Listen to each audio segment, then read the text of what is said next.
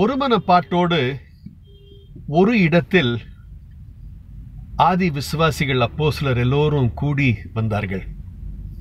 அப்போஸ்லர் இரண்டாம் அதிகாரம் பெந்தைகோஸ்த என்னும் நாள் வந்த பொழுது அவர்கள் எல்லோரும் ஒருமனப்பட்டு ஓரிடத்திலே வந்திருந்தார்கள்.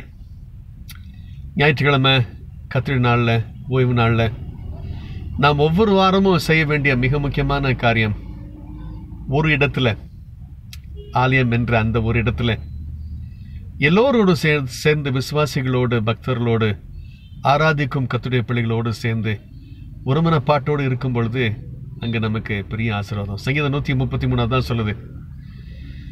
சகோதரர் ஒருமித்து வாசம் பண்ணுவது எத்தனை இன்பமோ எத்தனை நன்மையுமா இருக்கிறது. கடைசி வசனம் கடைசி வரி. அங்குதான் ஆண்டவர் ஏற்கனவே ஜீவனையும் சமாதானத்தையும் கட்டளையிட்டு விட்டார். ஒருமனப்பாட்டோடு ஒரு இடத்துல கூடி ஆராதிக்கக்கூடிய இந்த ஒழுக்கத்திற்கு நாம் நம்மை இணங்கி கொடுப்போம் பெரிய ஆசீர்வாதங்கள் நம்மை நிரப்பும் கபிலசிங்.